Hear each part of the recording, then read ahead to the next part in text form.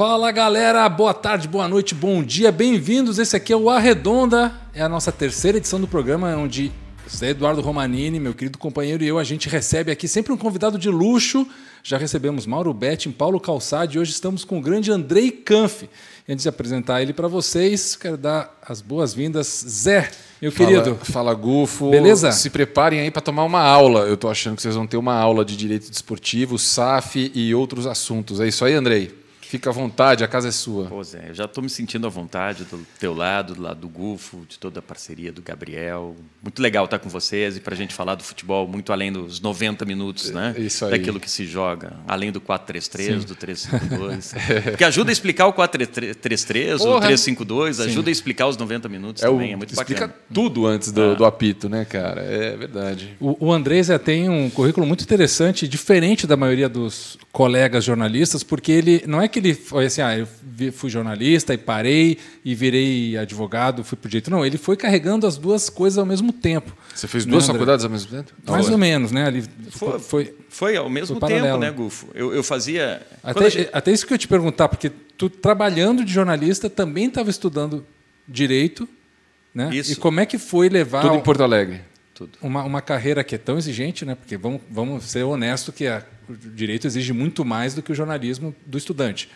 Como é que foi levar lá o trampo, reportagem, é, é, é, né, que também demanda demais, e fazer as faculdades e levar tudo tão bem, né? Porque tudo fez muito bem feito. Pô, Gufo, assim, quando a gente tem 17 anos, a gente tem energia para tudo, né? Eu saía de casa às seis e meia da manhã em Porto Alegre, pegava o T1, caminhava quase um quilômetro para pegar o T1 na Avenida Ipiranga, descia na PUC uma meia hora depois, chegava às sete e meia, fazia minha aula, saía meio-dia, almoçava no meio do caminho para fazer um estágio em publicidade, no meio do caminho, na Ipiranga, que é destino ao centro, e depois às seis e meia da tarde chegava na Faculdade de Direito lá na Federal do Rio Grande do Sul, para a aula que começava às sete e terminava às dez e meia. Depois pegava um ônibus para ir para cá, chegava às onze, onze e meia, cheio de energia. Ainda lendo livros que eu precisava ler, entregando os trabalhos que precisavam ser entregues, ainda a máquina de escrever, ou então a mão, porque não se tinha computador naquela época. E nessa hora ninguém precisa fazer conta, por favor. A gente está falando não, dos eu anos acho que 90. Nós, nós também. Eu fiz metade da minha faculdade em máquina de escrever, cara. Aqui não tem ninguém, nenhum jovem, não. né, cara? Você estava falando de ter energia. Outro dia eu estava conversando com um, um sobrinho meu. E aí, eu, 17 anos, né? Aí eu, porra, ah, o que, que você fez? Eu, Não, eu cheguei duas horas, pô, comi um X vinagrete, não sei o quê. Conforme ele falava aquilo, já ia me dando azia. Porque nessa idade até isso é bom, né, Claro, cara? Você- no sim. dia seguinte você tá zerado, é uma É, pedra. não, você é come pedra. pedra e no dia seguinte você Sim, o fígado é. se eu como o que ele comeu, eu fico três dias da cama, doente, mal. Puta que pariu, é idade foda. É, Onde é que a gente parava sempre depois da aula na sexta-feira, uma da manhã, para comer um X em algum lugar Sim, em Porto Alegre? sim, delícia. Um cheeseburger meia-noite, uma hora e tá valendo. exato. Quando passava das quatro, a gente ia pro Van Gogh lá Van na, Gogh, pô, ali, a ali na, Jo- na João. Pessoa para tomar uma sopa, né? A gente se enganava porque era, era o início do café da manhã. Sim. Então uma sopa lá carregadinha, uma canja, ou então uma sopa de feijão era o início da manhã, era a primeira parte do café. O desejo, É. o desejo, né? o, o Andrei, galera, ele é, passou, né? Vai me corrigindo se eu estiver errado. Vamos lá.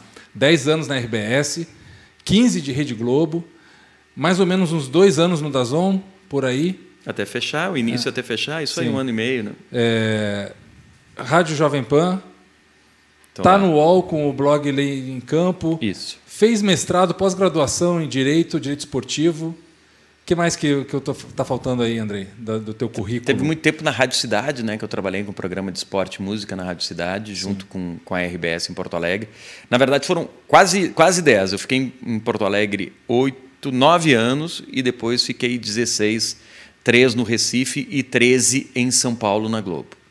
Certo. E essa coisa da Globo, tá? Vamos dizer lá, 10 anos de RBS, 15 anos de Rede Globo, é, a RBS ela segue muito o modelo Globo pra Faz parte tudo, do né? grupo, né, de certa forma. Isso. né? É, é afiliado, né? afiliado e Afiliado. tal.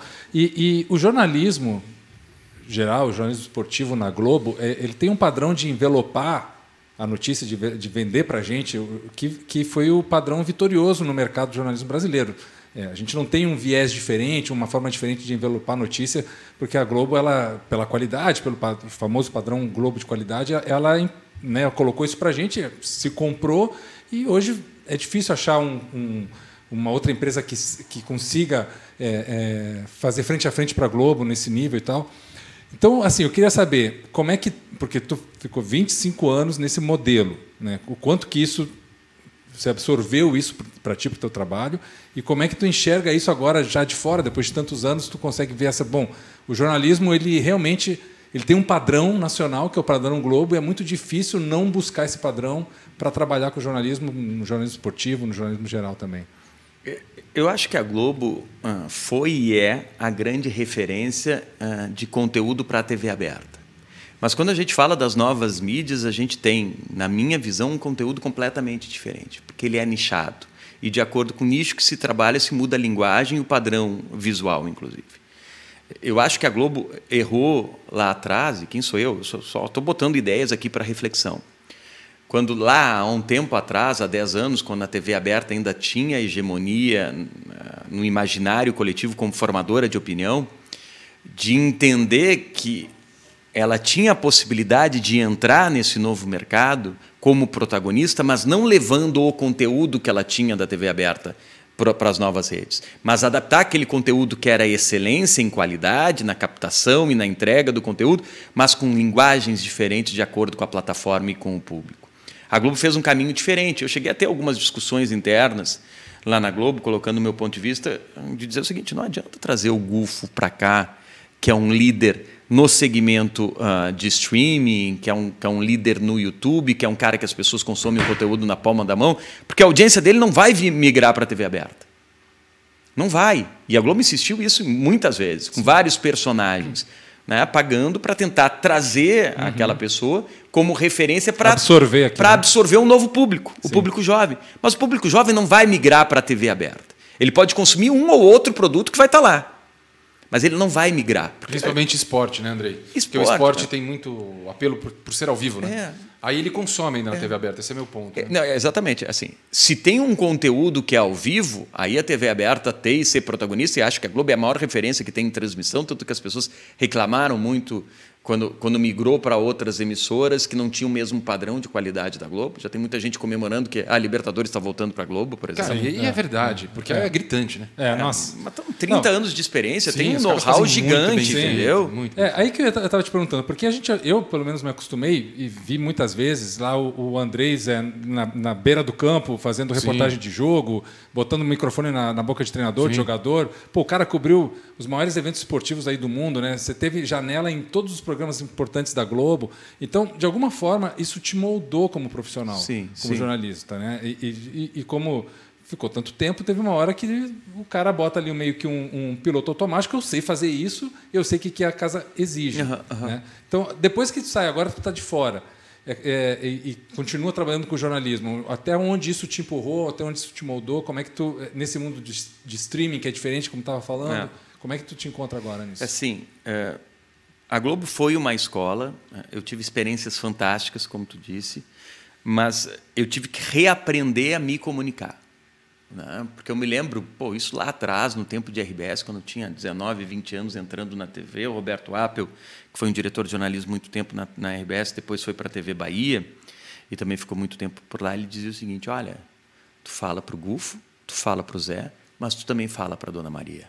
Então, o nosso grande desafio era colocar conteúdo e profundidade de uma maneira simples, uhum. que todo mundo entendesse, que a Dona Maria entendesse o que eu estava colocando, mas que não ficasse muito pobre esse conteúdo para o Gufo e para o Zé, que eles também absorvessem e tirassem daquilo algo importante. Então era um desafio muito grande.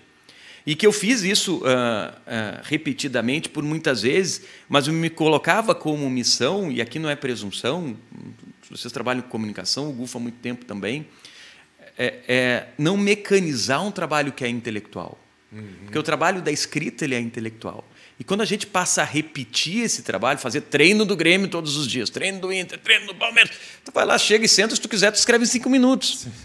Então, assim, quando eu pensava muito no início, eu demorava meia hora para fazer. Uhum. Ou uma hora para escrever um texto, ou uma hora e meia, ou duas. Mas no final eu já tinha que demorar duas ou três horas. Por quê? Porque eu não podia repetir padrões que eu já tinha. Eu tinha que tentar contar aquela história de uma outra maneira e me afastar da mecanização desse tipo de trabalho, que é um trabalho, repito, intelectual, sem querer aqui ser presunçoso. É difícil, hein? É, é, é um exercício muito complicado Sim. e foi ficando cada vez mais. Até porque ele se torna repetido, repetitivo, ele é menos desafiador e eu já não tinha mais o mesmo tesão. Uhum. Claro que sim. Claro. Entendeu? Isso também foi um, um, um dos, dos, elementos que eu coloquei no pote, na balança, na hora de pesar numa transição profissional. Uma que a TV aberta já não tinha o mesmo tamanho que ela tinha há cinco anos, em 2018, e outra que ela não vai ter daqui a cinco anos o tamanho que ela tem hoje. É. Porque ela está diminuindo. Sim. E o meu desafio é, é, o que eu colocava na TV é, tratem bem o público da TV aberta. Tratem bem, não sei quanto tempo vai durar, mas tratem, façam conteúdo pensando nesse público. Né? E depois migrem para as outras plataformas com conteúdo um pouco diferente e com padrão de qualidade que a Globo tem. Isso me formou com responsabilidade com relação à informação, tentando ser mais objetivo na pergunta do Guto. Né? do Gufo. Uh, eu preciso ter cuidado com aquilo que eu falo, eu preciso apurar e apurar muito. Eu sou de um tempo em que a gente ainda apurava por telefone, não se tinha internet. É, hoje ninguém liga tudo. mais. Não, né? ninguém mais liga. Hoje ninguém pega e liga pro cara, não, mas ele falou isso mesmo, mas você tem o telefone dele, é. liga, liga não, pro cara. As pessoas não ligam. É. Tinha que ligar, Sim. ou tinha que conversar com algum jornalista, olha.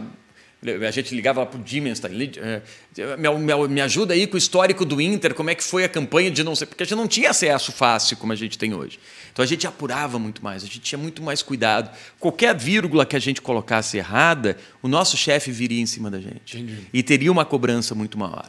Então essa é uma herança que eu carrego hoje. Mas uh, eu migro para um, um, uma para uma outra ideia, para um outro projeto que também trabalha com comunicação, que é o projeto do Lencampo, que é um conteúdo de direito desportivo na área de comunicação. Migrei também para o comentário, onde eu fui colega do Gufo no, no Dazon e eventualmente comento um ou outro jogo, mas também tive que fazer um processo de transição e de aprendizado. Eu, no momento que me dispus a fazer isso, eh, eu queria entregar, se não excelência, o melhor que eu poderia entregar dentro desse, dessa nova responsabilidade profissional. Eu fiz um curso de análise tática do futebol é, eu, para falar de direito desportivo, eu fiz uma pós-graduação, fiz o um mestrado, porque eu acho que eu tenho um compromisso e uma bagagem que eu carrego comigo, que é uma credibilidade que eu preciso entregar para as pessoas que confiam em mim nos novos projetos que eu também vou apresentar. Se eu fechar um projeto com vocês, eu vou ter que entregar tudo aquilo que vocês esperam pelo meu passado, claro. pelo meu histórico. Entendeu? Então, no, eu entrego o mínimo que vocês esperam. Sim. Né? Assim, não o mínimo que vocês esperam, no mínimo o que vocês esperam. Posso te garantir é. de carteirinha que a, a, lei em campo você cumpre com tudo isso, é. cara, porque é assim, é acho que todo mundo que trabalha com futebol segue você ali. É importante. Eu queria entrar no assunto do, do, da lei em campo, cara. Bora. É, você quer falar de SAF ou o quê? Ah, é, acho que melhor talvez antes ele dar uma pincelada para a galera que não conhece, né? O que, que eu leio em campo, de onde é que surgiu, para onde é que tu quer ir, aí depois a gente entra nessas, nos detalhes de Demorou. SAF e tal. Ótimo. Vamos lá, bem uh, objetivamente. Olha aqui. O que, que aconteceu? Eu, ainda na Globo, mas entendendo que o meu prazo de validade tinha vencido, é quase que nem leite de, de saquinho. Olha, uhum. tem prazo de validade aqui, está vencendo, Sim. vai azedar. É, e já sabendo que, que a minha, negocia, minha última negociação tinha sido difícil, eu ia sair de lá e era a hora de eu finalmente colocar em prática aquele projeto que eu queria lá atrás quando eu fiz as duas faculdades, conciliar direito e jornalismo.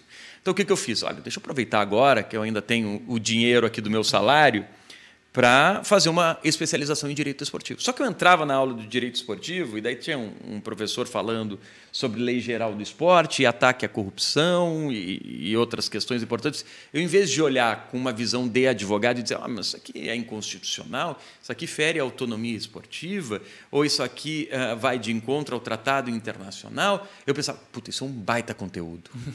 Porra, Gufo, imagina uma matéria sobre isso. Daí contava a história da, da lei Bosman, né, como um atleta lá nos anos 90, pegou e comprou uma briga gigante com a UEFA e com a FIFA e mudou as relações de trabalho no futebol em vez de eu ficar pensando, puta, juridicamente isso é legal, olha os caminhos jurídicos que se tem para isso, eu ficar pensando, puta, essa história, como é que ninguém contou? Como é que eu não ouvi em 25 anos de jornalismo? Isso é uma matéria do caramba. Vamos fazer. Então, então assim, e eu pensava, e não tinha quem apresentasse esse conteúdo. Que é um, não é um conteúdo de instituto de direito desportivo, claro, claro. de academia, de, é um conteúdo de notícia em áreas em que direito e esporte se relacionam. Uhum. E daí eu criei o Olê em Campo. E o Lei em Campo tem, entre outros braços, tem o braço do UOL. O UOL me chamou, eu, pessoa física, para escrever nesse assunto e dentro dessa temática de direito e esporte, levo o nome de Lei em Campo. Então o projeto acabou crescendo a partir Muito daí. Muito bom. Cara, você falou do Bosman. É... Aqui no Brasil, na verdade, a ordem, me corrige, tá? É uma pergunta. Foi Lei Zico primeiro, depois virou Lei Pelé, né? Isso. Um A lei Zico, acho que teve até, teve até um ressentimento do Zico em relação a isso, porque basicamente é a mesma coisa, depois virou lei Pelé. Tá, tá certo isso? Tá certo, lembro tá bem? certo. Muda, não muda muita coisa. Não muda muita coisa. E eu lembro de ter lido essa lei e é alguma coisa, tipo 70 artigos, algo assim, não é muita coisa. Acho que 12 falam de direito federativo e extinção do passe. O resto falava de bingo. Era mais ou menos essa proporção. Era 12 ou 11 tá? artigos. E de fato, cara, essa lei, ela, eu acho que no primeiro momento machucou o futebol, porque ela tirou o futebol brasileiro, porque a estrutura estava enraizada numa garantia que deixou de existir. Foi é. tirado um era direito. Um patrimônio, era um patrimônio. O jogador era um patrimônio do clube. E agora, exato. E agora tem um período de trabalho por tempo. É, você acha que houve uma compensação com o direito de solidariedade para o Brasil, Argentina? América Latina, formadora de jogador, África, imagino que muito também, né? mais até que nós. É, como formador de jogador, a lei de solidariedade, ela compensou a quebra ou o fim do, do passe? Pô, muito legal. Eu acho que nunca tive uma pergunta com tanto conteúdo jurídico e esportivo dentro dela. É, é legal porque a gente pode avançar a partir daí. A grande discussão que teve é 95, Lei Bosman. O que, que era a Lei Bosman? Resumindo, um atleta que pertencia a um clube belga, terminou o contrato dele, ele recebeu uma proposta de um clube francês, só que o clube francês não conseguia pagar o dinheiro que o clube uh, belga pedia pelo passe do jogador. Não conseguia financeiramente ou Não conseguia financeiramente, financeiramente. Ele não podia pagar, ele não tinha dinheiro para pagar por aquela, uh, pelo passe do atleta. Certo. E daí ele entrou em tribunais estatais, porque pelo movimento privado do esporte, eles disseram, olha, tem vínculo, tem vínculo, está aqui escrito, não pode sair só se alguém pagar. Então ele entrou uh, num tribunal estatal e disse o seguinte: olha, está ferindo o meu direito de trabalhar, minha liberdade de trabalho e de deslocamento. Uhum. Direitos humanos, tribunal estatal. O tribunal estatal reconheceu esse direito dele e o movimento esportivo teve que fazer um, um passo para trás e dizer: olha, a gente precisa rever uhum. os nossos regramentos, porque senão a gente vai tomar pau da justiça estatal o tempo inteiro. Vai azedar também. Vai azedar. Então a lei Bosman mudou essa relação. E em efeito dominó, as regulações ou as regras, as leis estatais dentro de cada soberania, foi mudando. E veio a Lei Pelé em 98, que também extinguiu a lei do passe, mas deu três anos de carência e o passe no Brasil acabou em 2001, para os clubes se prepararem para essa certo. transição. O que, que o futebol fez? Era uma receita importante? Não tenho dúvida. Mas era necessário acabar? Também acho que sim. Com certeza. Como é que vai ser um patrimônio? Sim. Como é que um atleta vai ser um patrimônio? Se eu não quiser ficar contigo, se ninguém pagar, tu fica aqui encostado e eu não te dou uns real. Isso acontecia direto? Acontecia direto. Direto não, era a história do futebol. Mas imagina, sim. a gente está falando em anos 90 é, e os pouco. caras estão pisando em direitos humanos. Direitos consagrados lá pela Carta Universal de Direitos Humanos Agora, de, de 48. 2008? A FIFA, a FIFA, ela se posicionou antes do, do, das, das confederações? Ela se posicionou antes? É. Ou o Brasil foi um, um dos rebeldes Não, em algum momento? O Brasil veio junto com as outras federações. Tá? Um movimento global. É, é, o esporte começou a se proteger como? Criando regramentos internos. Como você falou, mecanismo de solidariedade, indenização por formação. O que, que é? O clube formador mesmo ele não tendo mais o vínculo federativo do atleta, ele ganha economicamente lá na frente com qualquer transação que for feita. Porque, cara, isso é uma coisa muito justa. É, claro que sim. Mas como é que, que, que aconteceu? Olha que bacana. A irritação estatal, uma decisão estatal, fez com que o movimento esportivo precisasse pensar de uma maneira mais humana, mas que protegesse a economia do negócio. Então ele cria o um mecanismo de solidariedade, a indenização por formação, quer dizer, o clube formador ganha na hora da primeira transferência uma grana boa, e os clubes o que, passaram a fazer também? Contratos mais longos. O futebol é dos raros uh, esportes, ou o esporte traz uh, uh, esse, esse fenômeno que é raro, de que tu faz um contrato para ele não ser cumprido. Então tu faz um contrato longo para que alguém não se compre o atleta. As pessoas falam errado, né? O atleta foi comprado, não foi comprado. O outro clube pagou pela rescisão contratual. Tem uma multa estabelecida Exato, no contrato. Uhum. Então tu faz um contrato longo para quê? Para que daqui dois ou três anos esse atleta se valorize e alguém pague aquele valor que está estabelecido no contrato. Claro. Chega e fala, ó, o meu teto são 200 milhões, quer sair por menos? Vamos conversar. Vamos negociar. Mas, é. entendi. É, olha que fantástico. Então, Sim. assim, a economia foi protegida, o que diziam lá atrás, não, os clubes vão acabar, não acabaram nada. Sim. Eles estão mais protegidos, só que agora, para se proteger economicamente, eles não precisam pisar em direitos humanos como pisavam até anteriormente. O, o volume de grana aumentou.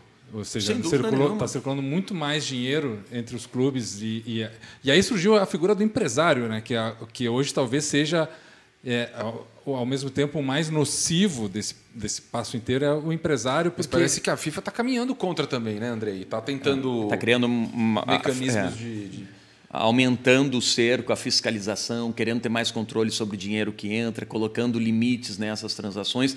Agora, Gufa, assim, é, é, as pessoas também fazem essa crítica hoje quando falam da lei do passe. É, tirou dos clubes, mas botou na mão dos empresários. É verdade. Tem muito empresário que também é dono do atleta. Sim, né? sim. E os atletas não conseguem se independizar. Agora, tem bons profissionais na área e tem ruins claro, profissionais na área. Claro. Né? Isso parte. A gente tem um déficit é, sim. educacional gigante, né?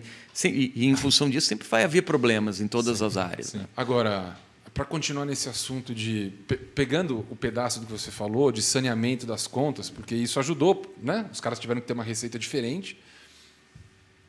É, eu acho que o SAF, conforme eles venham, você vai ter uma massa crítica em algum momento de SAF que vai ter um monte de executivo tocando e não vai ter mais torcedor. Ele é, vai ter que ter um corintiano administrando o time do Criciúma, o Cris, vai ter um cara que nasceu em Criciúma e tem e gosta do Criciúma e está administrando o São Paulo, e é assim que vai ter que ser, porque é assim que são todas as empresas no mundo. Grandes, né? mas essas, o Brasil, um time fatura centenas de milhões por ano.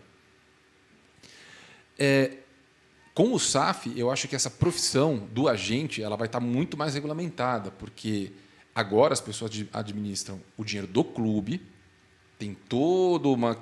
Já existe auditoria, já existe um monte de coisa nesses clubes grandes do Brasil há anos, auditorias internacionais, coisa séria.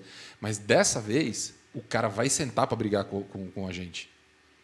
O que a gente cansou de ver nas últimas décadas, cara, são ações de agentes entrando contra os clubes de dezenas de milhões por causa de uma transferência. Cara. Ainda está acontecendo. Ainda está acontecendo. Aconteceu uma recente que eu li é, semana do, passada. Do Atlético, né? Exato.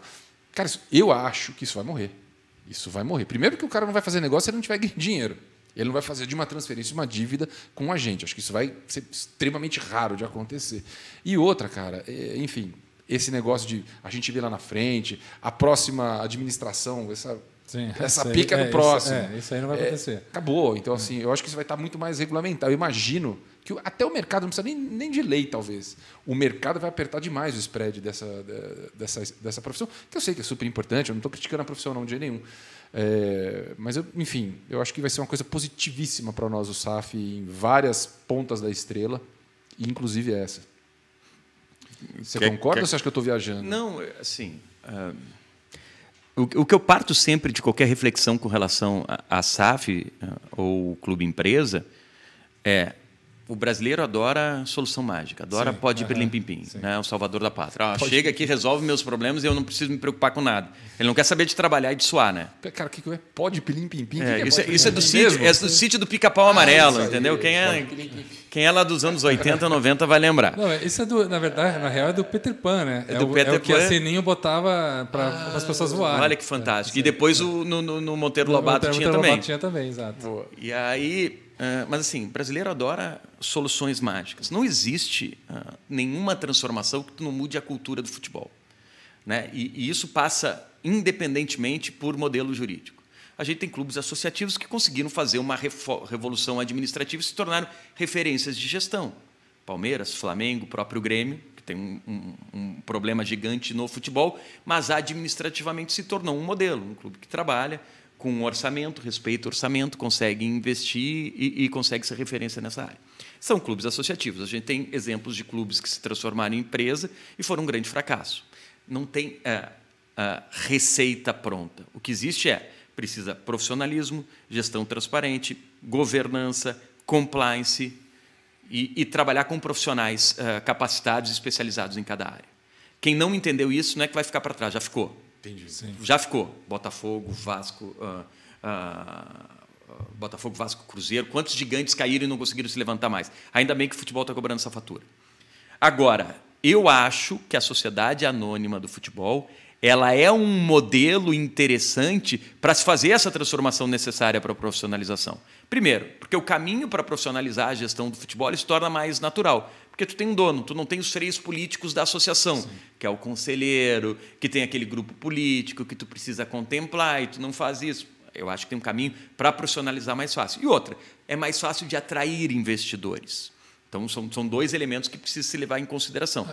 André, desculpa te, te interromper claro. também, mas tem uma coisa que a grana que circula dentro desse processo, ela vai ter um dono, entre aspas, um responsável pelaquela grana, porque hoje não tem responsável. O cara gasta o que ele quer, como o Zé falou, empurra para a próxima gestão, ou se vai ter para pagar lá na frente não importa.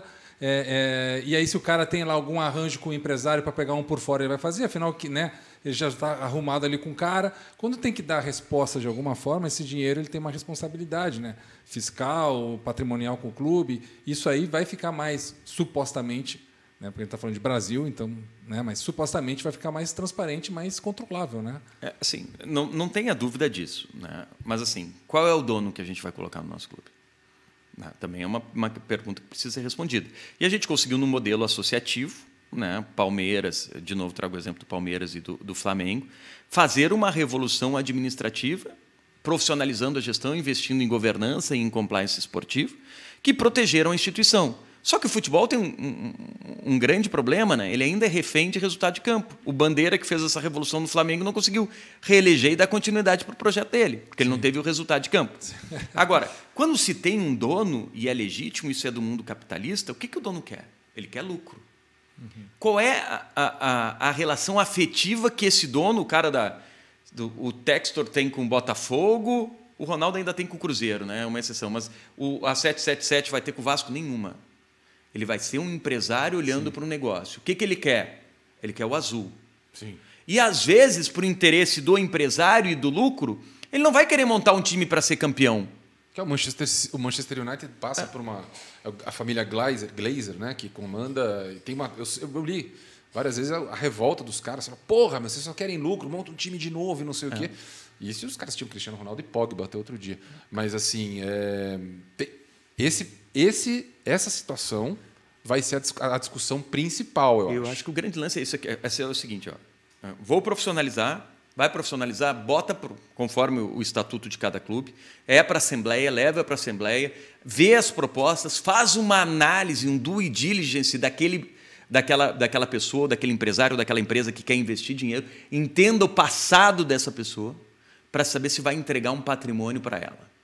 E outra coisa, o clube passa a ter dono, é legítimo o dono querer é, faturar e ter lucro, e às vezes, em cima do planejamento estratégico que ele vai traçar, não seja o objetivo final ser campeão. Porque eu vou montar um clube mais barato, porque eu quero ser sétimo no, no Campeonato Brasileiro, que eu vou ter X de receita e vou ganhar uma vaga na Sul-Americana. E se eu entrar na Sul-Americana e eu for até a terceira fase, eu vou ter X de lucro. E se eu vender cinco jogadores da base, eu vou ganhar tanto e eu faço o meu planejamento econômico a partir daí. Sim. Às vezes montar um time para ser campeão, e a gente sabe que o futebol não é ciência é, exata, não é uma matemática exata, eu não vou conseguir e eu vou ter prejuízo lá na frente. Sim. Então, talvez eu, como investidor, como alguém do mundo do mercado, eu, eu cheguei à conclusão que, olha, neste ano eu não quero montar time para ser competitivo. E o torcedor tem que entender, o meu clube agora tem um dono. Claro. O que, que os clubes da Europa têm feito que é muito interessante, tá? Porque eu, eu costumo brincar, o futebol nunca vai ser uma franquia da Copenhagen. Né? Nunca vai ser. Que eu pego, ap apresento e boto modelos de gestão, sigo tudo aquilo claro, que está estabelecido sim, sim, e pronto, pronto. Vai receita ter lucro. De, receita de bolo, faz é, isso vai ter aí. lucro. Planejamento estratégico, caso do Fábio, por exemplo, do Cruzeiro, quando ele foi dispensado. Empresa, planejamento estratégico, ele faz parte dos nossos planos, não faz. Segurança jurídica, tem como demitir, o advogado vai lá e diz: tem, tem como demitir. Planejamento econômico, cabe no nosso cofre? Não cabe. Vamos demitir, tem como pagar? Tem. Uh, reputacional, isso para nós é problema? Não, não é problema, porque é uma relação jurídica, econômica, não está dentro do nosso planejamento estratégico. Mas esqueceram do quinto elemento que só o futebol tem e a nossa franquia da Copenhague não precisa se preocupar que é a opinião pública, Sim. é a torcida. É o vínculo do é o ídolo vínculo, com a É o vínculo do ídolo com a é. torcida, é a, é a torcida, é, é, é, a imprensa que vai cair de pau. Isso vai te trazer um prejuízo reputacional. E na hora da balança da gestão, em, em, em analisar riscos de uma tomada de decisão, tu vai ter que levar em consideração essa questão também. Então o futebol ele tem peculiaridades, sabe? Que são muito interessantes. E dentro desse processo de transformação na gestão do esporte, o torcedor vai ter que colocar na balança. Eu não vou ter mais o mesmo peso a mesma importância. Mas se for para o meu clube realmente ser organizado, se eu não estou conseguindo organizá-lo no modelo associativo, nesse modelo, vamos assumir esse tipo de prejuízo. O que, que os clubes da Europa estão fazendo, que eu acho muito bacana? E, e, essa transformação vem muito depois da Superliga, tá? Quando eles tomaram uma decisão de maneira individual, também não levando em consideração. Essa como... agora que eles tentaram fazer, tentaram fazer. é um super clube, uma, uma liga. É, os caras, olha, essa história é fantástica, porque ela é emblemática, né, Gufo? Tu tem é, os maiores clubes do mundo que querem se reunir e organizar uma competição mais rentável do que a UEFA. Tudo é dinheiro, para ganhar mais dinheiro. Vamos, vamos discutir isso aqui se, se tem caminho? Chama os melhores executivos chama os melhores operadores do mercado, chama os melhores advogados, e o advogado diz: tem caminho jurídico, liberdade associativa, direito concorrencial, pode fazer que não tem como a, a UEFA te punir. fecha que vai ser foda, vai ser só seleção jogando. É. Vamos vender bilhões. Vamos vender bilhões. Tem um investidor, pô, tem um investidor que vai botar mais dinheiro do que a Champions, vocês vão ganhar muito mais dinheiro. Pô, tem um investidor, tem um caminho jurídico, vamos fazer. Esquecer do quê?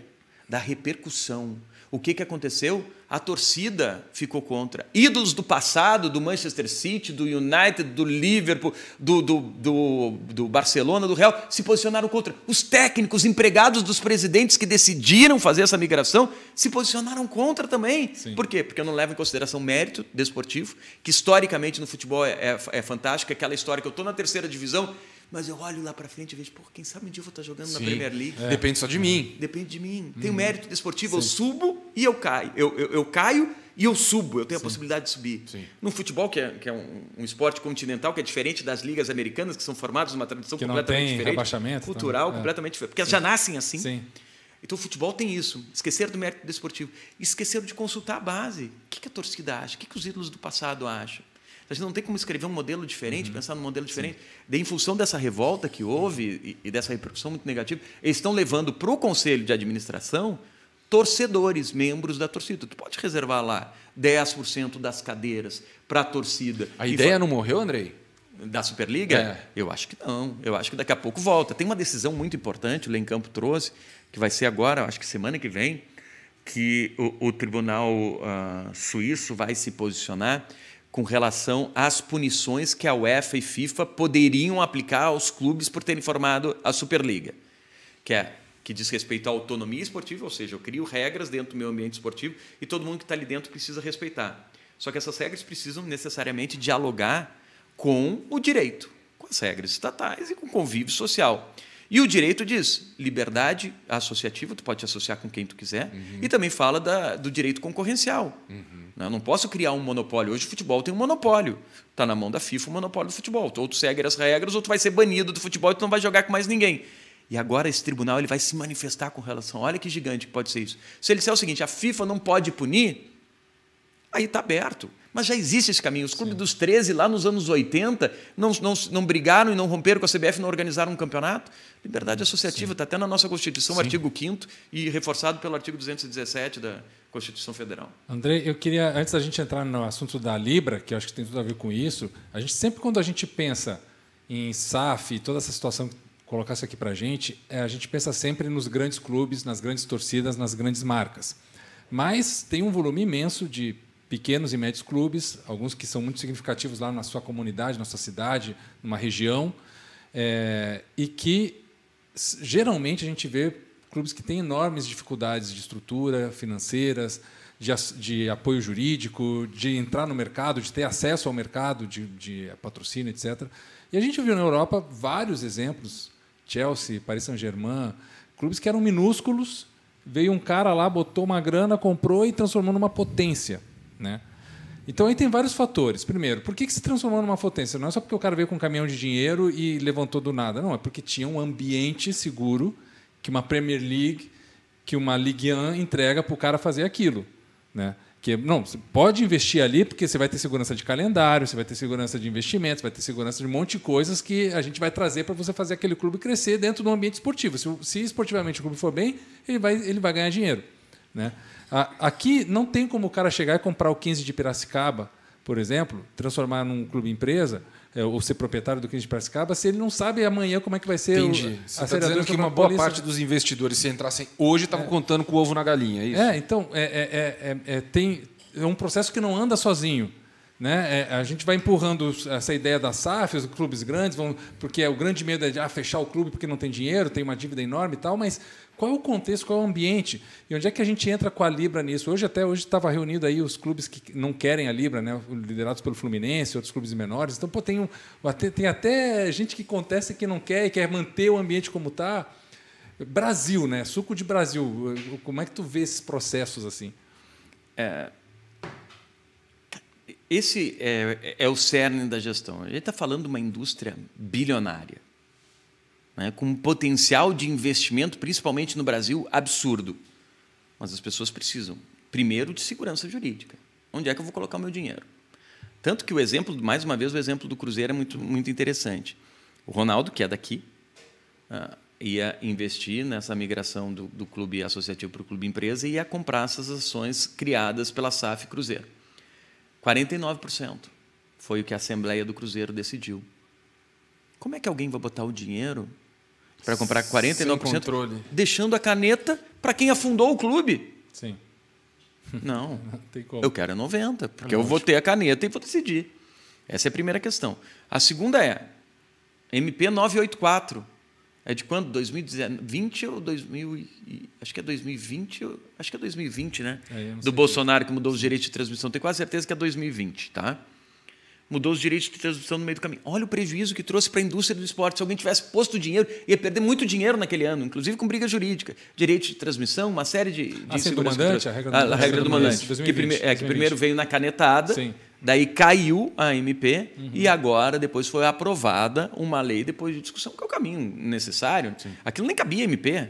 Como é que vai caber MP? MP exige conforme. Foi uma pressão do Flamengo também. É, foi uma pressão, é, mas, é. mas cara, foi inconstitucional. Sim. As pessoas nem discutiram isso, porque quais são os fundamentos de uma MP? Um deles é urgência. Onde é que tinha urgência? Se tinha projetos sobre uh, entregar os direitos de transmissão para o mandante no Congresso há muito tempo, inclusive o PL que está avançando no Congresso. Hoje de tarde tem uma votação importante no Senado, que cria uma nova lei geral do esporte, unifica lá a Lei Pelé, a Lei de Incentivo ao Esporte, Estatuto do Torcedor, bota tudo num documento e esse documento uh, conversando entre ele, né, pensando no esporte de maneira sistema, uh, mais sistêmica. Ela trazia já lá em 2017 essa entrega dos direitos de transmissão para o clube mandante. Então, como é que tem urgência aí para tu aplicar uma MP? Não tinha, Sim. sabe? Mas tudo bem, entrou em vigor, MP, canetada, entra em vigor, vota, não vota, entra, volta tudo. Um monte de gente, a gente conhece, gente com quem a gente trabalhou, pessoas do mercado. Muita gente me perguntava: bota o dinheiro ou não? Qual é a minha segurança? Tua segurança é zero, porque a chance dessa MP cair é gigante. Tu vai comprar algo que tu vai ter que devolver logo ali na frente. Sim. E muitos negócios pararam em função disso. Então, o que tu traz, Gulf, é fundamental. Ou o Brasil entende que precisa administrar o futebol de uma maneira séria, o esporte de uma maneira séria, responsável com proteção jurídica, com equilíbrio econômico, para apresentar para o mercado, olha, venha para cá, que tu já tem um universo seguro para tu implementar as tuas políticas e os teus caminhos, ou então vai ser difícil de captar o que eles estão imaginando que eles podem captar em relação a recursos. Mesmo a gente tendo o dólar desse jeito, que é, pô, o Brasil é, é super é, barato. É, pois é, né? É um atrativo. Sim, mas é isso aí, você falou segurança. Segurança é tudo. Tá, e a Libra? Tu acha que vai rolar? O que, que tem trava? O que, que pode acontecer? Cara, a, pô, a Libra é o Brasil. Cara, eu não gosto desse nome, sabia? Libra. É, é, a Liga Brasileira. Mas assim, cara, é o Brasil repetindo velhas e nocivas práticas para a gestão do esporte. É mais um outdoor de como o futebol trata o negócio futebol, a cultura do futebol. Porque são seis clubes achando que podem definir o futuro de 40. Sim.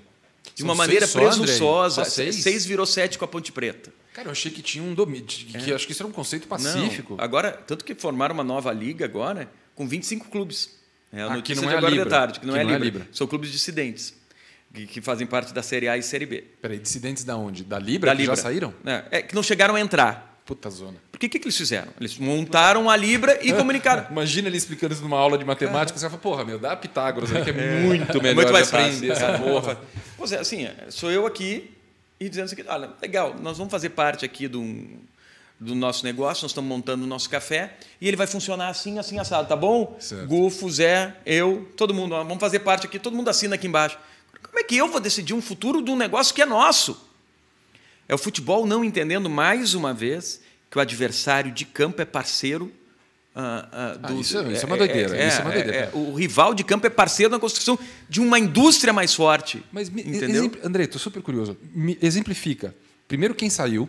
se você puder, não sei se tem algum problema, mas O Gufo vai me ajudar nessa. é, quem saiu e é, qual foi a justificativa? Porque é, por exemplo, a discussão como tem na Europa, são modelos É, diferentes. São três, são três, ah, três colunas, né? O direito de é o valor da transmissão que é 50%, depois tem é, classificação nos campeonatos, Isso, mérito desportivo. mérito desportivo e ah, o tamanho da torcida mesmo, É. de, de audiência e tal. Venda. É, É uma- isso aí. É isso aqui. São esses três pilares. Tá, beleza. Os caras brigaram aqui dentro? Isso. Fundamentalmente por isso. E tem outras decisões também de mudar estatuto, participação, peso de voto, mas a essência é grana. Tá? O GUF depois me ajuda aqui a montar quais são os, os clubes, o, o- qual é o clube dos seis, a formação.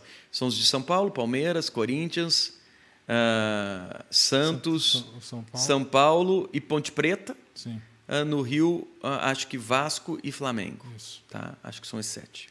Não posso estar enganado que eu estou falando aqui de memória. Não, tranquilo. E aí os outros clubes não, vamos negociar. Tem outros clubes entrando, acho que o Atlético agora está aderindo, o Atlético Botafogo, Mineiro, que queria Botafogo também, também. É. agora com a, com a SAF também está entrando, o Inter estava para negociar, tem, tem, tem gente ainda negociando com a Libra. Tá. Mas a notícia de hoje é que 25 dos 40, eu não li a notícia porque foi no momento que eu cheguei aqui, 20 já está no Lei em Campo, inclusive, fazendo 25 clubes ah, montar uma nova liga para negociar. E eles vão poder fazer o seguinte: eles vão negociar esse bloco com as pessoas que querem investir dinheiro, com os operadores que vão investir dinheiro e comprar direitos. Cara, mas como é que você. Ah, você tá falando. Mas você não está falando de campeonato em si. Não, não, não, não, não estou falando de Ah, campeonato, tá na venda de direitos. O que, que vai acontecer se não conseguir organizar? O campeonato continua com a CBF. É, vai ser isso. Se não conseguir organizar e A tiver uma CBF unidade tá dos rindo clubes, disso tudo, né? Então, esses 25 estão negociando o quê? Não, esses 25 montaram um bloco Certo. para tentar negociar com o grupo da Libra e depois negociar com a CBF. Ah, tá. Eles se juntaram para conversar com os sete, Isso. os sete Isso. primeiros da A liga. negociação vai ser, vai ser assim: eles criam um grupo, determinam quem são os líderes e esses líderes vão conversar lá para ver se tem caminho com a Libra ou não. A questão é: a Libra está oferecendo 40% igual, ah, 30% de faturamento e 30% de mérito desportivo. Eles querem 50% igual. Como é nas principais ligas do mundo. Porque tu distribui de maneira igual, tu preserva algo que é fundamental para a essência do esporte, o equilíbrio esportivo. O esporte se baseia como? Equilíbrio esportivo, claro que é uma grande fantasia, é uma utopia, né? é mais ou menos como a Ilha de Maltos. Ela está lá, tu nunca vai chegar na Ilha de Maltos, na perfeição. Mas tu caminha em direção a ela, tu tenta eh, colocar os princípios e, e- e todos os elementos que te fazem chegar perto daquele sonho. Tá? Então, assim, tu vai estabelecer eh, esse equilíbrio esportivo, vai- obviamente os clubes vão ser mais fortes que os outros, mas certa paridade para manter o quê? A incerteza do resultado, que a incerteza do resultado é que alimenta não só a paixão do torcedor, mas a indústria do esporte. Por que, que a gente paga para ver um, um pay-per-view, um jogo? Porque a gente não sabe o que vai acontecer. Exatamente. Se o time do Gufo ganha do meu, Exatamente. e vamos fingir que o nosso time é diferente... ah, O seu é muito melhor que o dele, vai. É isso que sempre. você queria falar. Sim, mas o, o- o teu ganhou do meu numa final de mundial já. Olha aqui, ó. Se. se opa, como assim? O Novo Hamburgo? O Novo Hamburgo tem final de Mundial? Olha aí, olha aí. Nos meus melhores sonhos. Mas Eu assim, senti, eu senti espinha- espinhadas aqui agora. assim mas olha aqui. ah, cara, até perdi a linha de raciocínio. Mas assim, se o time do Gufo ganha do meu de 5 a 0 uma vez, ele vai me tocar uma corneta. Se no segundo jogo ganha de 4 a 0, ele vai me mandar uma mensagem, né? nem vai me ligar mais, mas vai mandar uma mensagem aqui do WhatsApp para me tirar uma onda. Ganha uma terceira, ele espera um dia e me toca uma corneta no café quando a gente fizer um programa aqui no Footstats. Na quarta vez, ele vai esquecer de me tocar uma corneta. E na quinta, ele não vai mais nem assistir ao jogo. Tá ele não vai mais pagar para ver. Tá certo. Sim, sim. Porque ele vai saber o que que vai acontecer. Olha o risco que a gente corre. Con- Concordo, cara. Olha o que aconteceu no Campeonato Espanhol. Foi isso. É isso que eu ia falar, trazer esse exemplo. É. O Campeonato Espanhol. E aí, eh, novamente, o papel da Liga foi fundamental. Claro. E empurrar para o Real Madrid e Barcelona a importância dos times menores. Porque aqui a gente não tem essa consciência. O que está tendo ali esse grupo de seis é querer oprimir os outros a partir da base de que eles são maiores em público, em audiência, e que eles devem mandar no sistema. E devem ter as cotas maiores, os valores maiores por isso. E que os menores que se. Né, que vão para aquele lugar. Cara, você tá me dizendo uma coisa que acho que agora eu tô, eu tô uma pergunta, tá? Tá fazendo mais sentido. A liga não pode nascer antes de ter uma massa crítica grande de SAF. Porque senão são os mesmos caras tentando de- definir essa discussão, cara, parece velha. O Clube dos 13 rompeu muito por causa disso, ou pelo menos era a briga que eu lia toda semana. Porra, não sei quem quer mais dinheiro, não sei quem. E esse é um acordo que eu acho que isso americano é foda. Claro, não Os tem caras dúvida. falam assim, cara, resolveu aqui o negócio de dinheiro, a liga, não importa qual seja. Acabou, dia seguinte é trabalho. Pá, pá, pá. Já- cara, eu não vou revisitar essa discussão, tá resolvido, tá assinado. E, obviamente, para isso ter acontecido, tá todo mundo satisfeito. Claro. E, então, cara, eu tô entendendo que se a gente não tiver dentro desse grupo, seja do 25, seja do 6, 7, ou quem mais, e os dissidentes aí, o, e o, o gado desgarrado aí, se não tiver uma massa crítica de SAF, esse negócio não vai dar certo, Andrei. Eu tô viajando? Porque, cara, é- de- parece que é a mesma discussão É de cultural 15 anos isso. atrás, cara. É cultural. Zé. Ah. Esse negócio do, do- os times grandes, cara, é, não é questão de ser altruísta, bonzinho ou trouxa, que às vezes o cara pega, pe- leva pro lado pessoal de achar que está fazendo um mau negócio. Cara, não existe negócio para ele, cara. Vai virar isso aí que você falou na, na- na- na liga. Sinceramente, a gente trabalha com futebol aqui e tal. Eu, cara, futebol espanhol tem três, quatro confrontos que dá para assistir, cara. O resto é uma porcaria, vamos falar a verdade. É, se eles não, não entenderem, é, essa mudança precisa ser cultural. Né? É aquilo, entender que o adversário de campo é parceiro na construção de uma indústria forte. É, essa é a base da história.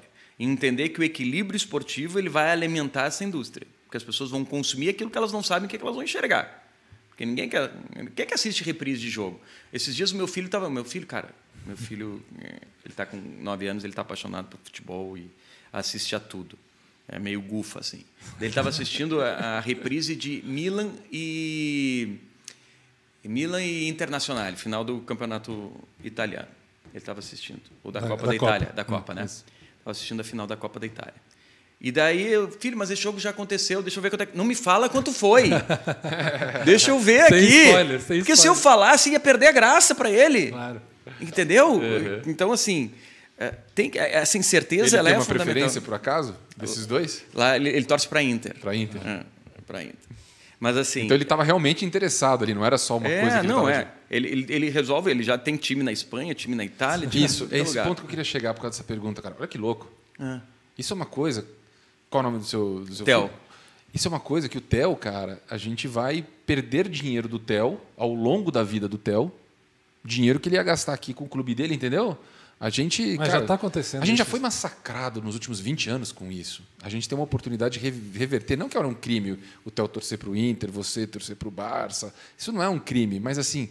A gente perdeu pela incapacidade, né, cara? Isso é muito sério. Mas é, eu, fa- eu- já faço um desafio aqui para você, para o Andrei, para todo mundo em casa. Vai num shopping center Ah, qualquer e começa, fica sentadinho num banco ali, na praça de alimentação, algum lugar, e fica contando quantas crianças ou jovens ali entre Chelsea, Paris 8 e 15 Saint-Germain. anos estão usando camisas de time nacional e Real camisas de time Madrid. estrangeiro. É isso aí, Barça, é isso aí. Cara, é assim, é, é proporção de 2 para 8, assim. É impressionante. Eu já fiz isso, estou falando porque eu já fiz. Sentar num shopping e ficar vendo quantos jovens passam com camisa de Chelsea, Real Madrid. Cara, eu tenho um primo que é super palmeirense. Outro dia ele se cansou, ele pegou o filho dele na marra. Ele falou: Você vai assistir um jogo comigo do Palmeiras, porque o moleque tava desgarrado, tava só futebol europeu. E o, e o pai é retardado, assim, super palmeirense. E, e aí ele falou: Cara, não, não dava. Ele não torce, ele não torce jogo, jogo comigo, pô. Eu sento aqui, tomo, abro uma cerveja, o moleque não assiste jogo comigo. Quem tá jogando? Ah, foda-se. Então isso é muito louco, né, cara? É, cara, é, assim, tem que tratar bem, tem que tratar bem, porque hoje não assiste mais futebol só indo para o estádio, né? E tu não assiste futebol só mais às quartas e aos domingos. Tu assiste futebol todos os dias, Cara, eu que tu confesso quiser. que, eu tava. Eu fui surpreendido pelo que você falou. Eu achei que o negócio estava muito mais coeso da Liga, da Libra. Achei que estava muito mais, assim, já nos finalmente para anunciar daqui 15 dias. Eu achei, baseado em nada também. Uhum, Eu só estava com essa impressão. Mas eu tô vendo que o negócio tá assim, uma puta zona ainda. Ah, tá, tá muito distante de um acerto. E assim, é, eu acho que o brasileiro ele é teimoso, né? E, e eu não sei. Na verdade, a, a- minha reflexão me leva a entender que esse é um déficit é, educacional histórico que a gente tem, né? em função de uma dominação de uma casta no Brasil, de uma elite no Brasil, que se acha no direito de definir o futuro de todo mundo. né? Eu estou aqui, eu tenho mais poder, eu tenho mais dinheiro, eu tenho mais sabedoria, porque eu tenho o privilégio da educação que eu não dou para vocês e não dou de propósito para Isso continuar aqui. somado à vantagem, né, cara? É. A sensação da vantagem. É, porque eu Puta tenho vantagem, porque eu tenho poder, porque eu tenho mais dinheiro e porque eu tenho educação que eu não vou entregar para vocês. Porque o grande lema da meritocracia, a grande sacanagem da meritocracia é essa. Tu bota a meritocracia em, em condições Situações completamente desiguais, desiguais. é. Aí tu perpetua uma situação que existe. Lógico. Então esses caras se acham no direito de decidir tudo, de fazer tudo. E assim, e a gente não olha para os exemplos que vêm de fora. A gente viveu isso muito na pandemia, né? O mundo nos mostrando, ó, daqui três meses vai acontecer no Brasil. E a gente pensava assim, eu tenho o corpo fechado, nada me acontece. Sim, sim. Eu faço do jeito que eu quero. Aconteceu tudo o que acontecia lá. A diferença é que se tivesse acontecido no Brasil primeiro, talvez não acontecesse na Europa do jeito que aconteceu aqui.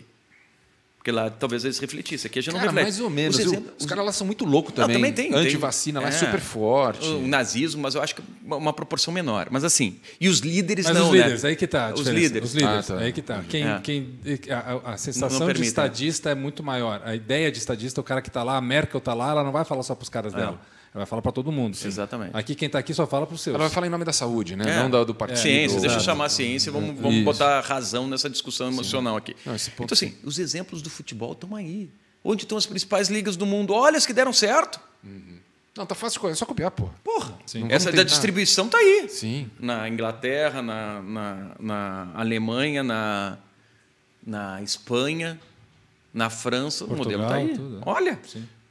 Cara, Andrei, tô... vamos seguir adiante aqui, Zé. Eu, vamos, eu tô louco para perguntar de aposta para ele. Então, isso que é, é, era o próximo assunto oh, aqui. Tem, yeah. tem alguns assuntos que a gente tem que falar ainda com o Andrei e o tempo corre. Vamos lá. É, horário para ti tá.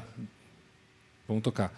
É, Andrei, a gente aqui identificamos no Footstatus uma demanda, né, e, e, e a gente está tentando entregar essa demanda no mundo das apostas esportivas, porque nós somos uma empresa de dados, né, e, e não tem como trabalhar com aposta esportiva sem trabalhar com dados. Então a gente está tentando juntar essas coisas. E o processo do mercado das apostas esportivas ele está em transformação. Tem a lei 13.756, se eu não me lembro o número que é essa lei que vai regulamentar as casas de apostas aqui, vai botar um CNPJ para elas, vai ter que ter endereço, vai dar uma segurança jurídica que hoje não tem. Mas a gente está falando de um mercado, Zé, que vai movimentar a partir disso aí, se diz nos cálculos que os caras estão fazendo, não só pela, pela economia local, mas por tudo que terceiriza em torno do mercado das apostas, em torno de 8 bilhões de reais por ano. Olha ou seja, só.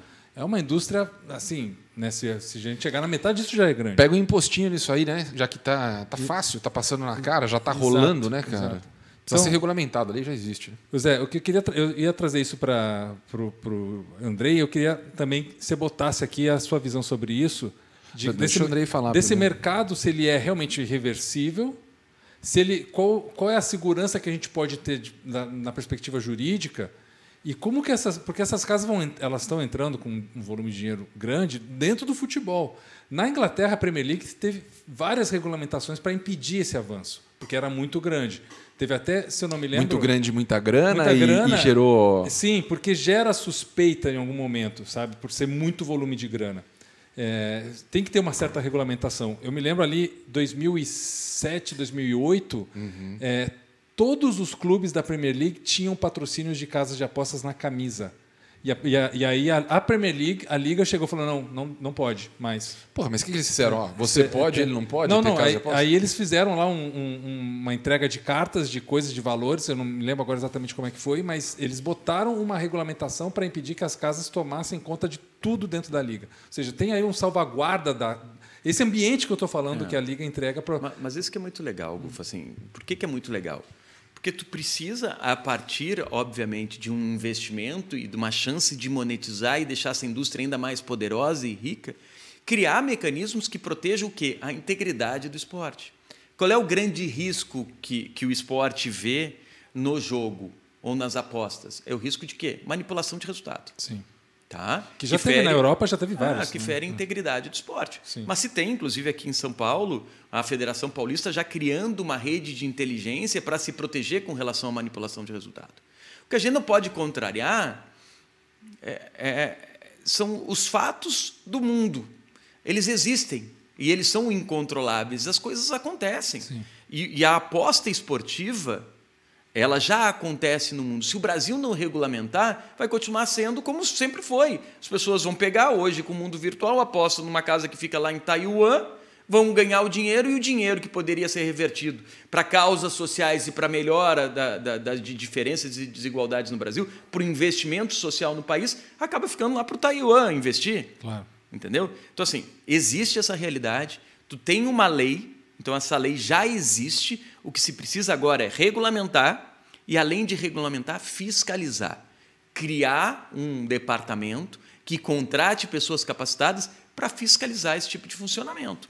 Então são esses caminhos necessários. Agora eu não tenho dúvida do seguinte: o jogo existe, as apostas existem, faz parte da cultura do esporte, isso é legal.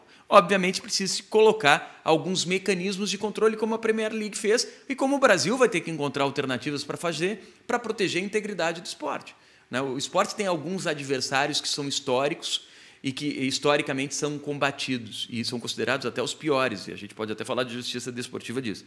Manipulação de resultado, uh, interferência externa e doping, porque eles agridem dois princípios do esporte que é o fair play uhum. e é a integridade das competições. Sim. O jogo limpo, né? Manter a paridade Sim, de armas. A isonomia do resultado. Né? É, Sim. manter isso aí. Sim. Então, assim, tu cria mecanismos para proteger. E por isso que a gente fala, ah, nunca vão mudar um resultado de partida. Mudam, mas em casos excepcionais e casos muito sérios, que agridem justamente o quê? O fair play e a integridade. Então, quando se tem um doping, a punição é pesada. Quando se tem uma manipulação de resultado, como foi o brasileiro de 2005, tu cancela as partidas e volta para jogar de novo. Puta, isso foi foda demais. É, né? mas assim. Não mas, tinha lei que previa. Ninguém foi punido em nada porque é, não tinha lei que previa. Né? É, de, depois eles mudaram. Mas isso aí é assim: Sim. decisões vão mudando e casos vão mudando. O direito uhum. ele também vai se adequando à realidade. Mas assim, é, precisa proteger.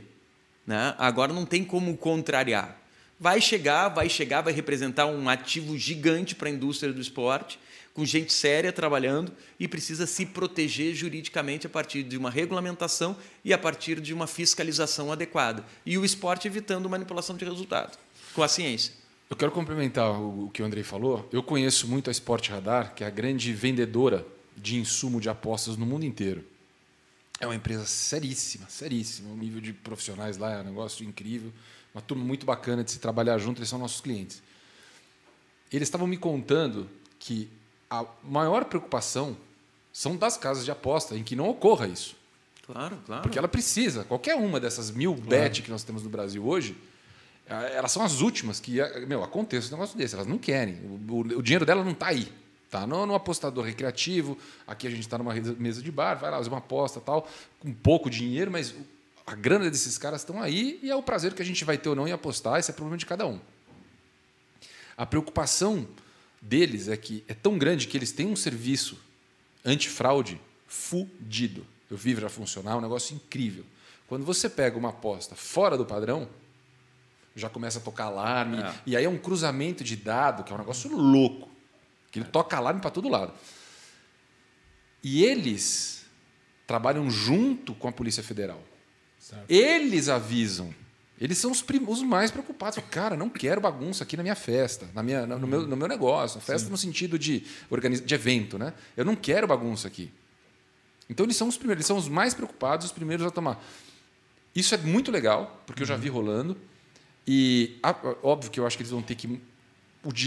A estrutura de Estado vai demorar muito para acompanhar, para ter uma tecnologia dessa. Então acho que assim tem que sugar dentro dessa, da regulamentação que tiver apertar ao máximo a questão de, de, de antifraude e ter acesso a tudo isso que não é difícil, não é preço proibitivo, não é nada disso. De novo, eles querem que isso aconteça. Claro. E agora eu vou dar um exemplo muito louco, cara. Há dois anos ou três, três anos atrás, a gente não estava na pandemia ainda, não, né? Três não. Três anos. Tava rolando Copa São Paulo de Juniores.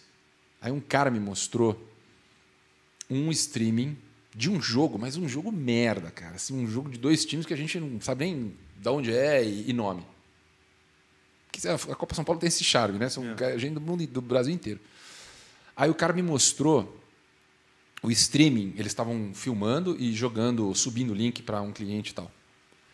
Aí ele falou: olha, esse jogo aqui, uma porcaria de jogo, um joguinho super simples, tinham 15 mil pessoas simultâneas no YouTube, há três anos atrás. Eu falei, porra, 15 mil é muita gente, Sim. hein? Ele falou, não, não, não, não. Esses 15 mil aqui é só para fora do Brasil. Eu falei, puta que pariu, um jogo da Copa São Paulo, da primeira fase, dois times absolutamente desconhecidos. Ele falou, cara, aqui é que rola a sacanagem. Sim. Aqui é onde rola a sacanagem, porque não tem como pegar. Então, a aposta começa a rolar e, e, o negócio. Aí eu falei, puta, cara, como realmente tem que tomar cuidado, cara. É. Tem que tomar cuidado.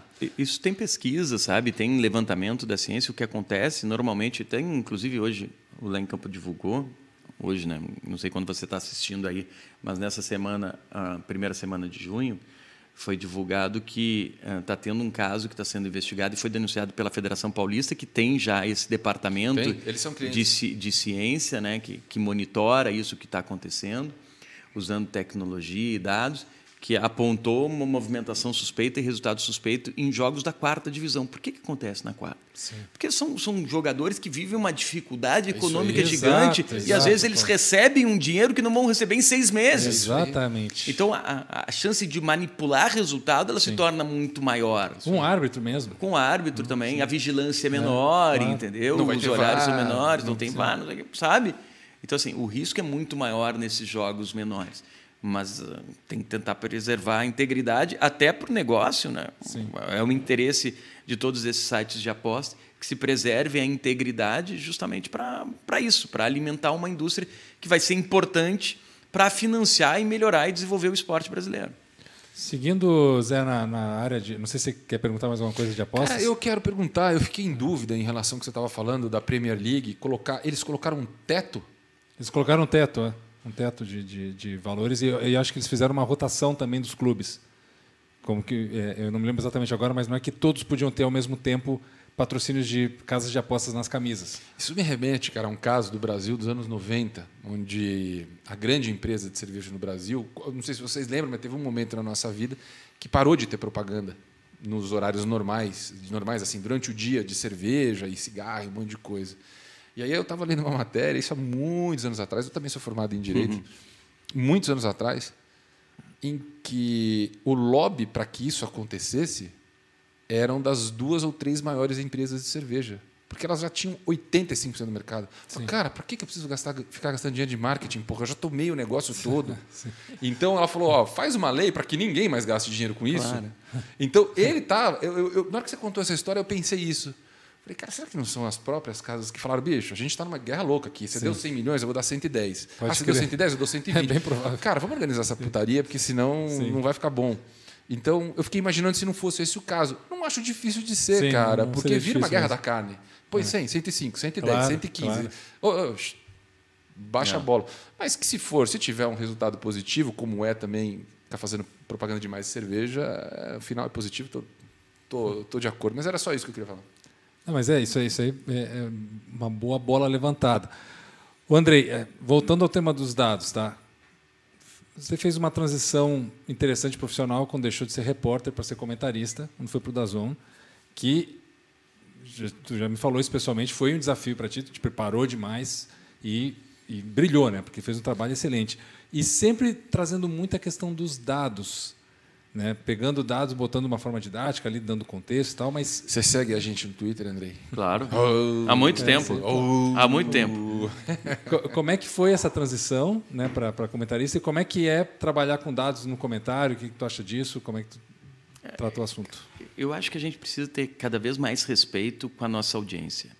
O futebol ele permite o achômetro. As pessoas até cobram uh, do comentarista a, a, aquela bolinha de cristal, né? O que, que vai acontecer no próximo jogo? E, e a nossa missão como uh, formador de opinião ou como alguém que está recebendo uh, para emitir uma opinião é que essa opinião seja embasada em dados, seja embasada em realidades naquilo que já aconteceu. O que vai acontecer já não tem. A gente tem como ter uma ideia de probabilidade. Agora, o futebol adora contrariar o óbvio. Agora, a gente tem uma leitura que nos ajuda a interpretar momentos que podem nos ajudar a acertar nessa, nesse, nesse projeto de adivinhação que o torcedor cobra do comentarista. Né? Então, os dados eles passam a ser fundamentais, porque ele te traz elementos a partir da ciência que te ajuda a colocar de uma maneira um pouquinho mais leve, um pouquinho mais uh, uh, mais simples, né? tentando traduzir aqueles números, uma realidade de momento, porque a gente tem a leitura do jogo e tem dados na tela que ajudam a explicar aquele nosso comentário e que deixam essa leitura mais evidente, mais clara para o torcedor que está do outro lado. Sim. Né? Eu posso dizer, olha, por que, que o time está tá com um problema? Ele está jogando muito pelo lado direito do campo e muito com fogaça. Daí eu pego lá e olho, ó, de cada 10 ataques, 7 são por aquele lado. Fica mais fácil para o time adversário parar e se proteger. Olha como o Zé já está encostando, fazendo uma marcação dupla em cima do, do Gufo e não tem mais alternativa de jogada por aquele lado. Não chega mais com perigo nesse segundo tempo como chegou no primeiro. Então eu tenho elementos que ajudam na minha leitura do jogo. E o, e o mais interessante é que a leitura, e eu costumo dizer isso, que a matemática do futebol ou a matemática do esporte ela é a única que não é é, objetiva, né? Sim. Ela te traz elementos para tu colocar Sim. o teu sentimento, a tua subjetividade ali, a tua leitura, o teu sentimento. É, porque eu, eu, também não gosto de comentários só em cima de números, né? Uhum. Eu acho que o, é chato. O, é, é o, chato. O, torcedor, o, torcedor, eu acho que ele quer sem saber o que, que o Zé acha disso. Ele viu esses números, o que, que ele acha disso? Sim, tem que ter uma camada Sabe? de interpretação. Tem que ter uma interpretação. Ah, e uma opinião uma também. Uma opinião. É. Eu, eu opino em cima dos números. E quando uhum. eu uh, migrei para o comentário, Gufo, o meu grande desafio foi esse. É, primeiro, deixa eu estudar análise tática, entender o futebol, porque eu vou começar a ver o jogo da cabine. Eu vi o jogo do campo, né, da linha do campo, é um jogo diferente, o jogo que o repórter vê do que o comentarista faz. A forma de eu me comunicar numa transmissão vai ser diferente e eu preciso ter uh, mais conhecimento para me sentir mais à vontade. Daí eu, como comentarista, eu tentava levar a, a análise tática do jogo, os números do jogo e a minha experiência como repórter, que é colocar informações também ali. Né? Entender o histórico do Zé, entender o, o momento do Gufo, entender o que está acontecendo nos bastidores do clube, porque tudo isso vai me dar elementos para a minha opinião que eu vou passar para a audiência que está do outro lado. Eu acho que era uma responsabilidade que eu tinha com quem estava do outro lado. Zé, cara, você quer eu, eu, eu fazer uma fazer, última pergunta? Eu quero, cara, que você falou de repórter de campo e realmente a gente, eu lembro muito de você em campo, muito mesmo em vários times e jogos diferentes, coberturas bem diferentes. Qual foi, se você pudesse, lembra, ou tiver alguém, um jogador que você fala, puta que pariu, como esse filho da puta joga. Esse cara tá acabando, tô com dó do marcador. Meu, Jesus, se olhar assim e falar assim, cara, e talvez você ter, ter tido aquela evidência naquele momento, assim, cara, eu tô aqui na beirada, pode ter sido seleção, o que for, tô na beirada do campo, tô vendo esse animal aqui destruir, porque quando você está próximo, você tem o som que é diferente. Você tem. Cara, você vê o cara respirando, você vê o energia é suor, é outra, né? a energia é outra, você vê o suor, a cor é diferente, Sim. o som é diferente. Cara, você tem alguma coisa assim do negócio que você fala assim, puta que pariu? Tem. Eu vou dizer para vocês, eu tenho um jogador que na hora eh, já me veio o nome dele, mas só para dar uma contextualizada. Eu tive o privilégio de acompanhar quatro ou cinco jogos do Messi pessoalmente, do Cristiano Ronaldo, dois jogos. Só que os dois jogos foram. Beira de campo. É, beira de campo. Os dois jogos foram de seleção. Uh, acompanhei pouco o Ronaldo Fenômeno, só quando ele voltou para o Corinthians, que eu acompanhei jogos em loco tá. dele. Pela seleção eu fiz alguns, inclusive em Porto Alegre, quando ele ainda estava no auge, era um cara fora de série. Mas, e, e, viu o início do Neymar, né? muito do início do Neymar aqui, aqui no, no Brasil. Agora, o cara que eu achei mais absurdo, mais excepcional, mais talentoso foi o Ronaldinho Gaúcho. É, cara, se esse cara, se esse cara se dedicasse para o futebol com a, não com a mesma paixão de Messi ou Cristiano Ronaldo, mas assim, com 30% ou 40% da entrega que o Messi e o Cristiano Ronaldo têm, ele foi escolhido duas vezes o melhor do mundo, eu estou enganado. Sim. Né? Quando 2006 e 2006 só? 2006 e 2009, eu acho. Cara, é, cinco foi duas vezes. Kaká, não foi? É, é, não, sete ou oito Kaká. É, o Kaká foi depois. Foi depois, assim, mas ele foi duas vezes escolhido o melhor do mundo, tá? Quando ele ganhou a segunda vez, eu disse, cara, fudeu. Porque esse cara, ele tinha 24, 25 anos, esse cara vai ser o melhor do mundo por seis, sete vezes. Cara, é Porque ninguém vai chegar nele, cara. Era só ele se dedicar mesmo. Mas assim, mas cara, ele largou, né? Sim. Ele jogava só pelo talento. O Ronaldo foi um cara que o Ronaldinho Gaúcho foi um cara que teve uma carreira até certo ponto longa, porque depois no Brasil ele ainda fez sucesso pelo Flamengo, pelo Atlético, levou o Atlético para a conquista da Libertadores, mas, mas, assim, só pelo talento.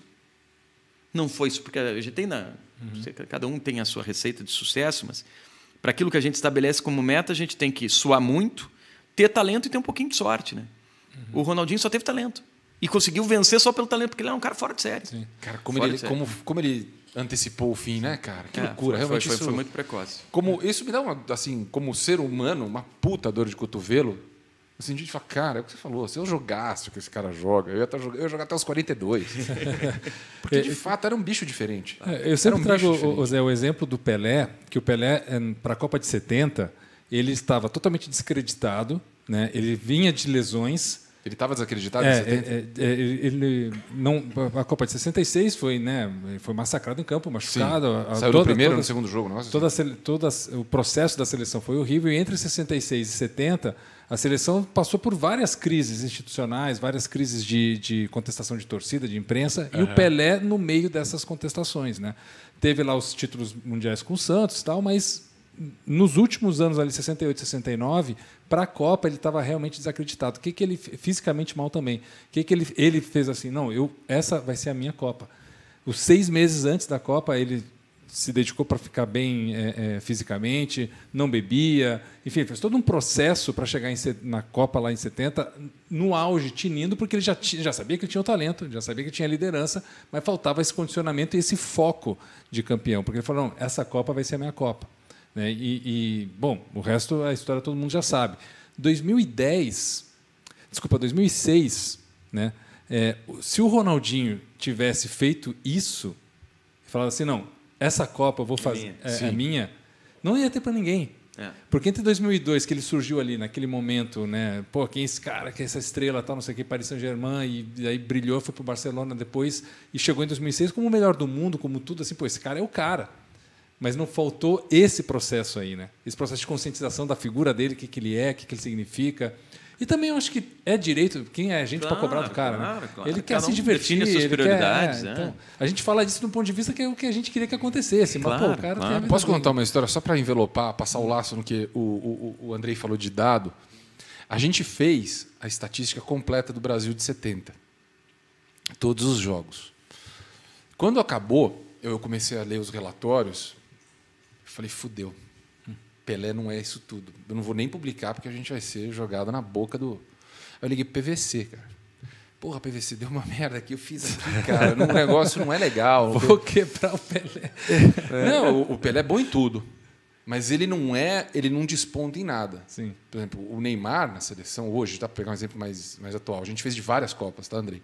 O, o Neymar ele é um- fora do gráfico em drible. Ele tinha, o, o Pelé, cara, ele era bom em tudo, mas aí o, o PVC falou assim, cara, ele não foi o super Pelé, ele não foi incrível, ele não foi determinante, ele não foi um ponto fora da curva. Ele realmente era uma coisa diferente, tal assim, mas o Bra- o Brasil tinha muita gente boa. E aí eu falei para ele, falei, realmente, todo mundo com um número muito bom, muita gente com números bons. E aí eu falei para ele, o mais impressionante número que a gente tem coletado em Copas. É, em Copas eu não estou dizendo Copa do Mundo, não. Copa qualquer Copa aí, Copa Brasil, Copa do Rei ou qualquer coisa. O Jairzinho chutou 11 bolas na Copa. Sete gols. Sete foram em direção ao gol, ele fez sete gols. Todos os chutes do Jairzinho que foram em direção ao gol, foi- até me arrepiei, cara. É impressionante. É a gente não tem no nosso banco de dados nada parecido. Então, era muita gente, era um 2002 da época de uma geração anterior à nossa, assim, que viu, né, como adulto. Eu não era nascido. Você era nascido? Não. Ah, peguei. Eu sou não. jovem. É. Cara, era um negócio assim. Então, tinha um camisa 9 lá que não era tão celebrado como todos, né? E era um animal. Aliás, ele não era camisa 9. Ele era sete. Ele era 7. Ô, Jardim. Cara, ele era um sete chutes em direção ao gol. Os chutes que ele foi em direção. E 7 para 11 já é um absurdo. Sim. né? Já é uma pontaria fodida. Claro. O que foi em direção ao gol, ninguém defendeu o chute. Resumindo, Que absurdo. ninguém defendeu o chute do Jairzinho. Olha que foda. Impressionante. E impressionante. aí, meu, um monte de camisa 10 jogando. De Sim. volante de camisa Sim, 10. Clodoaldo, de... Gerson, jogaram demais. É. Andrei, bom demais ter aqui, cara. Foi muito legal. Assim, a gente poderia ficar. Foi uma horas aula, não aqui. foi legal. Nossa. Foi legal também, mas Sim. foi mais uma aula do que tudo, cara. Porra. fantástico. O próximo a gente vai trazer um- uma churrascaria aqui, viu? Porque o Andrei, Ele manda bem? Nossa, o Andrei é o rei da, da- É? do churrasco. Hashtag chaminé, Chaminé on, on. No Instagram dele lá. Ah, Ele é? tá sempre- é, não. ah, é nesse naipe. Ele Nesse realmente naipe, não, é não. que não é uma Eu- gracinha eu- que eu você tá invisto, fazendo. eu invisto. Ele invoca essa. É, sim, sim, sim. Porra, Invista energia. Me chama quando isso rolar, então, pô. Bruxão, que- aqui, é, que- aqui é a sua casa, Bruxão. Quando quiser, só, só Cara, chegar. eu sou fãzaço do trabalho de vocês. Acho que é, mostra como o futebol tem caminhos bacanas, sabe? É, A gente tem que ah, se apegar nessas novas possibilidades, usar a ciência para entender o jogo, falar de gestão como vocês têm falado, falar de, de direito e proteção jurídica, que é importante também para a construção de um jogo e de uma indústria mais forte. a, a, a, gente avançar. Né? Vamos parar com o exercício do achômetro, eu acho isso, eu acho aquilo. A gente coloca isso lá no final. Depois de tudo isso que eu trouxe para vocês, eu acho isso. Eu acho que daí é a gente aí. Vai avançar muito na discussão e a gente vai ter um esporte muito mais bacana, um futebol muito melhor e muito mais evoluído. E não vai demorar muito tempo. Eu estou vencendo Tomara. a desesperança, sabe? Só para dizer assim, eu em 2000, olha como a gente pode vencer a desesperança. Em 2019, 18, quando eu fiz a migração, eu, eu participei de um summit uh, da Thomson Reuters aqui no Brasil uh, sobre compliance. E daí eu conversei com uma conhecida que perguntou: o que está fazendo aí, Andrei? Né? Um jornalista? Disse, não, sou advogado também. É advogado, o que está fazendo? Não, porque eu quero trabalhar com compliance no esporte. Ele olhou para mim: não tem como funcionar compliance no esporte. Não tem como. A gente apresentava compliance para as entidades esportivas, a, a, imensa maioria não conhecia, não sabia o que era compliance. O que é compliance? Compliance? Compliance? Não sabiam. Dirigentes, de presidentes de federação, uh, dirigentes de clube não sabiam. Não fazia parte da cultura da administração do esporte. E os poucos que sabiam entendiam que não, não poderia ser aplicado. Hoje está se falando disso. E mais do que isso, todo mundo já sabe o que é. E alguns já estão aplicando. Eu já aplico para seis entidades esportivas. Então, para você ter uma ideia, está assim, tá mudando a cultura e a gente está evoluindo. As pessoas ainda não conseguem enxergar mas a gente está caminhando. Talvez não na velocidade que a gente gostaria, mas está caminhando. E o que vocês fazem mostra isso. As pessoas estão consumindo esse tipo de conteúdo, coisa que há 10, 15 anos as pessoas não consumiam. Sim. Isso é evolução. Parabéns, gosto, gostei demais de estar aqui com vocês. Obrigado, André. Valeu, Obrigado mesmo. Valeu, Zé. Valeu, galera. É isso aí. Tamo junto.